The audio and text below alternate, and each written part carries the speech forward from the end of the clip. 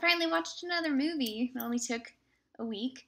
Um, I'm trying to average two movies a week for the rest of the year because I, you know, I used to do like one a day, and um, I'm finding that I just don't have the energy to do that pace anymore. Um, but at the same time, like I also miss movies, so uh, I'm trying to I'm trying to aim for two a week. So this is one of my two for at least for this week. Um, this being uh, one of the Denzel Washington films I have left. So I, I don't know if you guys remember because that was in like January. I decided I was going to try to finish off Denzel's filmography.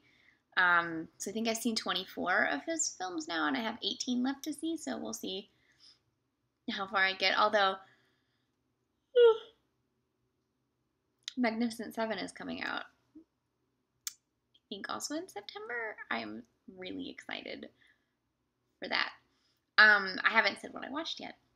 I watched The Equalizer. I remember when it came out. It came out in 2014, and I was still working on Rotten Tomatoes, and it got like really mixed reviews. And I loved Denzel, but I was sort of just not feeling it. I don't know. I don't guess I didn't like the premise or something, so I didn't see it in theaters.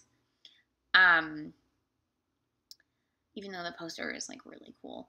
So I finally decided to watch it, and it's on. Um, I switched pages. I like tabs open, and this is much brighter. Um, it's on Starz, so I watched it on Starz, and also they have like six or seven Denzel films on Starz, and most of them I've seen, but this was one of the ones that I hadn't seen. The other one being Deja Vu, which I will watch soon. This one is directed by Antoine Fuqua, and he's the guy who directed Training Day, uh, obviously for which Denzel won his second Oscar, um, his first, his only lead Oscar. Uh, strangely, not for Malcolm X. I don't even understand.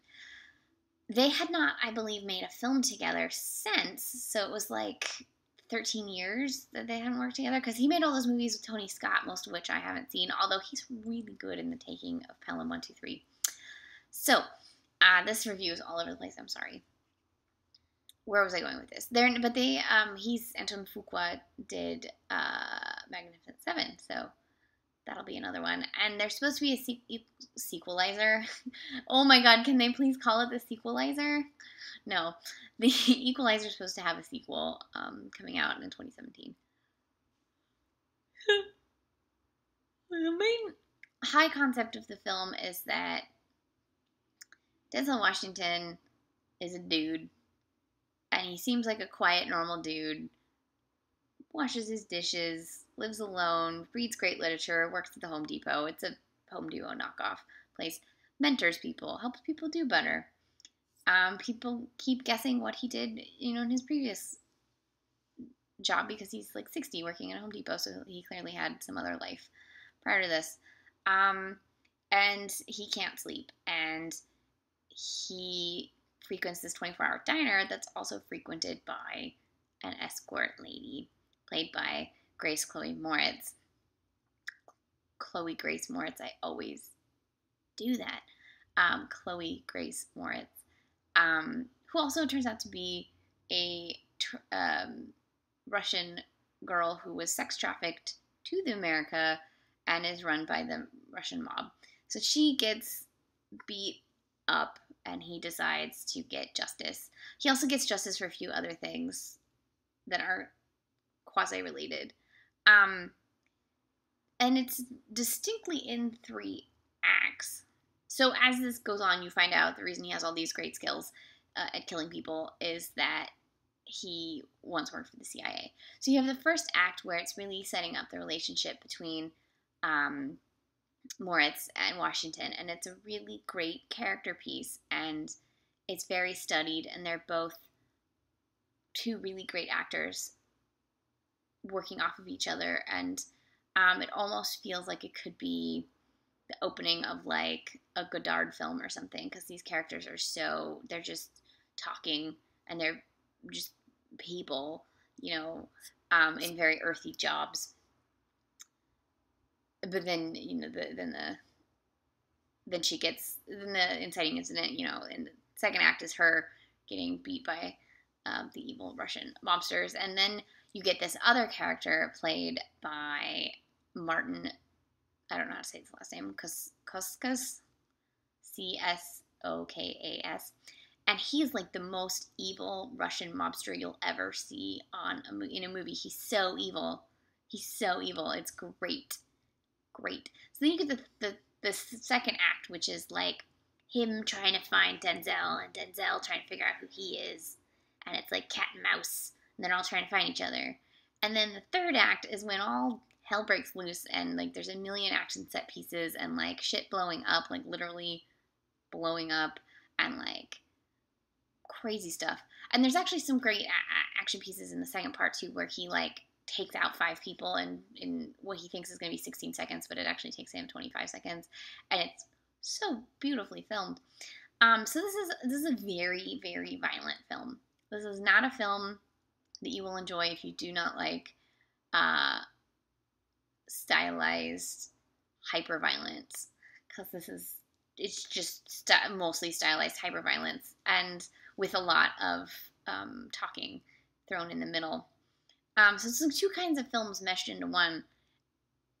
And it, uh, for me it all worked. Like the the tense talking parts were tense and interesting and the action set pieces were fun to watch and i, I guess i'm probably less um like tired of this kind of film i read a bunch of a few reviews that were basically like ugh not another film like this because i haven't seen like any of the liam neeson action films i'm i don't i don't go see these kind of movies that often so i'm it doesn't seem like one of many to me. So that helped my enjoyment of it. And then Denzel is the most charming, talented actor the screen ha- has working right now. And he's just so great that whether he's like making his little his tea out of the tea bag that he brings himself or he's you know killing somebody with a corkscrew he does it with such eloquence and such command of the screen that you're just enthralled um, he's just such a great actor. I love him. So, oh, and then there's bonus Bill Pullman out of nowhere. I, you know, I, I didn't look at the cast list before I watched it, so I didn't. Oh my god, I'm yawning. I didn't know he was um, gonna come until his name showed up in the credits, and I was like, wait a minute, Bill Pullman's in this movie. Bill Pullman's another that person that I, I truly love. Truly love Bill Pullman. So there are some issues in that you only see a handful of women in the film, and one of them is the mother of the kid that he mentors, but she's a, a business owner. And I, I, think that's important. Like, she runs her own restaurant. Um, you have some cashiers, uh, and you have obviously a um, Chloe, who is a prostitute, and one other prostitute that you meet. Um, but they're they're sort of nuanced and less less um, sort of victims than they could have been. They, they definitely had a weight to their characters that I, I think is not in a lot of le- lesser films. Um, and then you have um, Melissa Leo playing another ex CIA agent so part of me wishes there were more women, but in the world in which it's set, there wouldn't really be.